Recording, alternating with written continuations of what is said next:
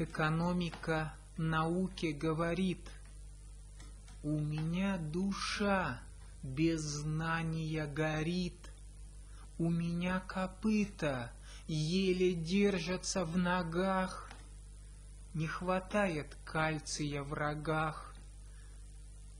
Экономика науки шлет вопрос, кто уедет раньше под откос, марсиане или жители Земли? Книжные, скажите, короли. Экономика не может быть одна. Без науки она кажется бледна.